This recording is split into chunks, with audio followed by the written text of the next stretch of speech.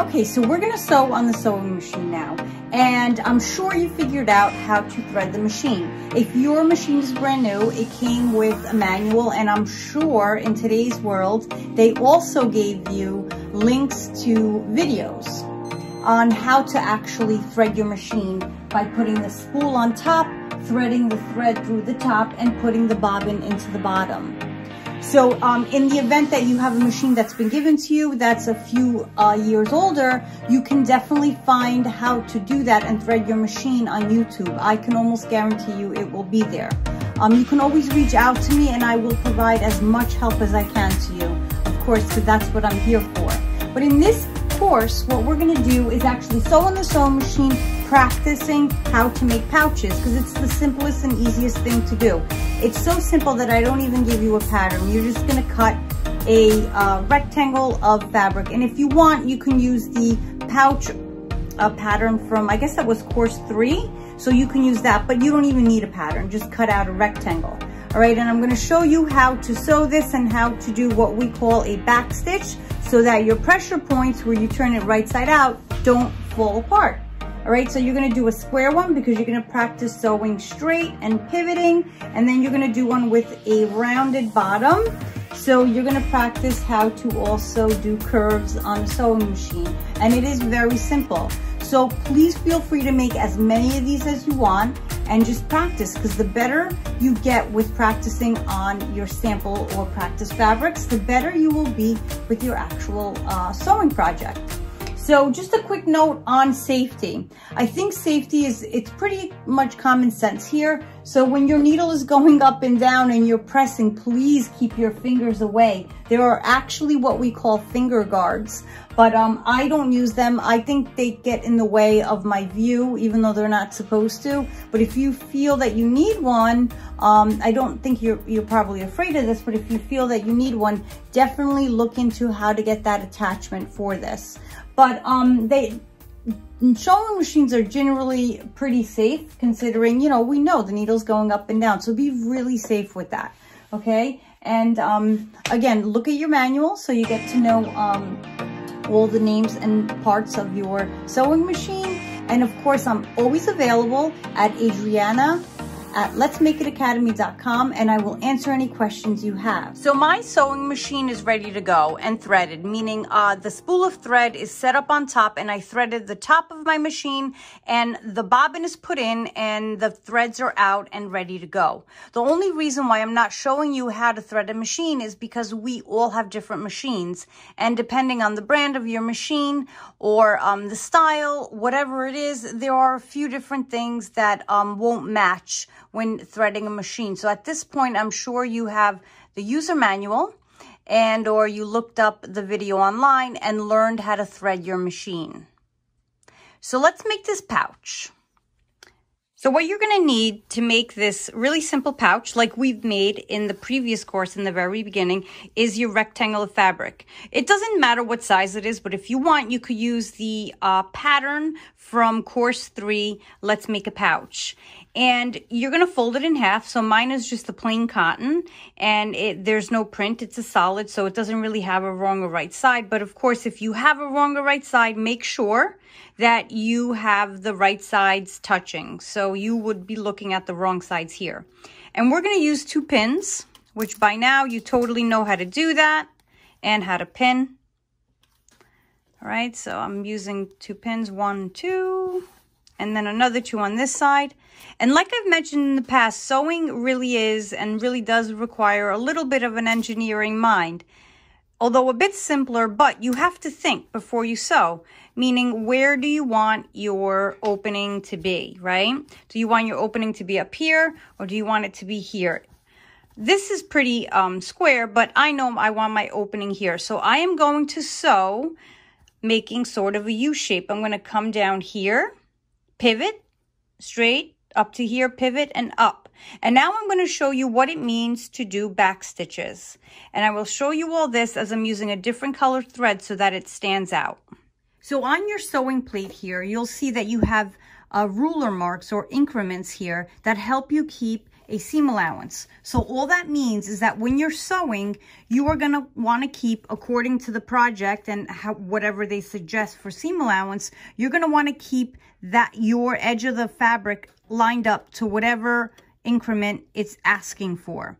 So when I measure my needle and my foot plate, mine shows me 3 eighths of an inch, and that is the perfect seam allowance. So I'm going to work with 3 eighths of an inch, meaning when I'm sewing, I'm going to line up my fabric to the edge of the foot pedal. So that's really easy for me and it works. But if you're sewing something and it says it wants a quarter of an inch, then that's the quarter of an inch line, for example, and I would uh, use and line up my fabric up to that line. So as you're sewing, you would practice uh, your hand-eye coordination and keep the fabric straight so that it lines up to there. But for this, um, 3 eighths of uh, seam allowance is perfect. So we're, what we're going to do at the top is we're going to do a back stitch, okay? And it's very simple to do. So I'm going to bring the needle down into the fabric. Let me just straighten that out into the fabric and put down my foot pedal because you never sew with the foot pedal up.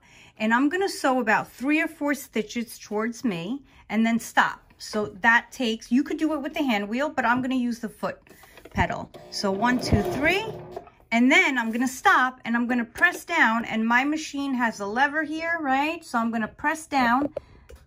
Here's my lever. I'm going to press down and hold it down as I um, sew and cover those three stitches. Here's what I mean. This is what back stitching means. So I went forward three stitches and now we're gonna go back. I'm gonna hold the lever down and it's gonna go back one, two, three. And now I'm gonna continue sewing. And you can easily sew over your pins or you can remove them, whatever you're more comfortable with, right? So notice how my pins, the pin head is away from the needle. So whenever you're pinning and sewing, make sure your pin head is always away from the needle and you pin perpendicular to the direction you're sewing. So that means if you're sewing this way, your pins intersect this way.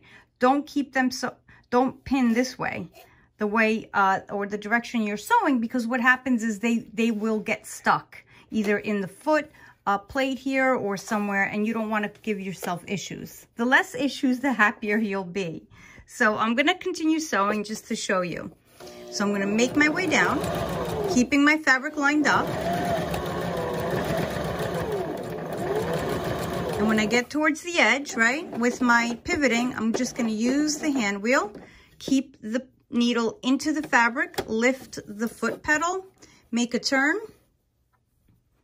right, make a turn. Whoop, let me just move here, put the foot pedal down and go back. Keeping it lined up.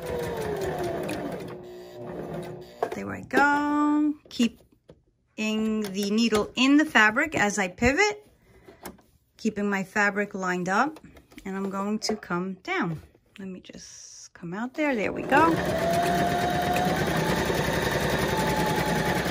And then when I get towards the end, because these are my pressure points, I am going to back it up. One, two, three, go front and done. So when you lift, up your foot. Make sure the needle is out. Lift up your foot and now you have your thread. So you can cut it with your shears or scissors or on the back of every sewing machine there are, um, there's a little area here that cuts your thread. I am in a habit of always using that instead of using shears. Okay, so once you have that, you're going to remove your pins. Just back this up, okay? You remove your pins. You always clean your sewing by trimming the threads, right? You trim your threads. And then the corners, if you remember from the other time, you're going to trim those. And then you are going to turn it right side out. And this is one of the best things I love giving my students to do when they practice using a sewing machine because it does practice, um, it does help you practice sewing on fabric and in straight lines and pivoting. All right, so you can use dull scissors or shears and to push out your corners, or if you have a point turner, you can use that. And now I test it and it's really strong and you have a pouch. So I suggest you make a few of these, all different sizes, and go for it. Okay, um, and I will show you now how to make a rounded corner pouch so that you can practice your curves. Okay, so now we're going to make a curved pouch. And for this reason, what I did was I uh, actually drew one in with a pencil mark. So you can do that too. Take any rectangle of fabric, fold it in half, uh, right sides together, as you see here. If I could get this, hey. Okay, right sides together. And you are going to draw yourself a nice curve so you can practice on that. And remember, if this is your sewing direction, you're going to pin perpendicular into that. Okay, so let's get started. And now you're going to be able to see the thread better. I noticed on the pink, you couldn't really see the red, but it's okay. You guys get it, I'm sure. All right, so again, hand-eye coordination, get your needle right onto the line or the edge. And this time I'm not going to actually have to keep uh, a seam allowance there because I have uh, the line to follow. So I'm going to start with doing my back stitch. Three front, three back, and I move ahead. You can move the pin out of the way and go.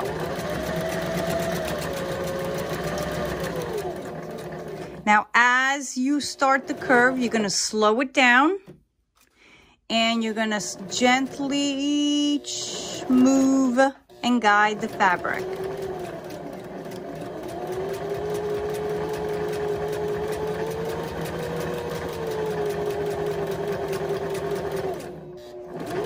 Don't worry, it's only practice.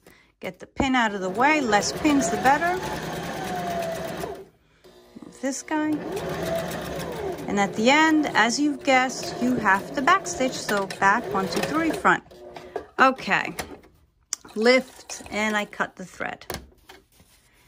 You're done sewing, clean up your sewing, meaning trim all your threads before you do anything else.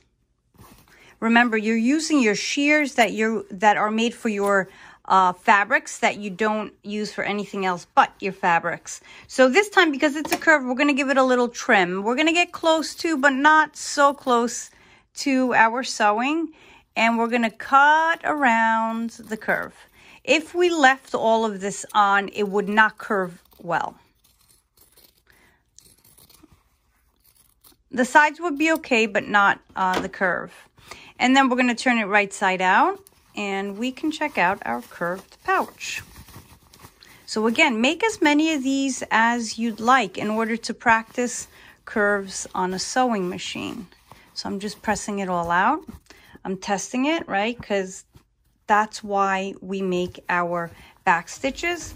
And I didn't press this out all the way. Well, and there you go. You have your curved pouch.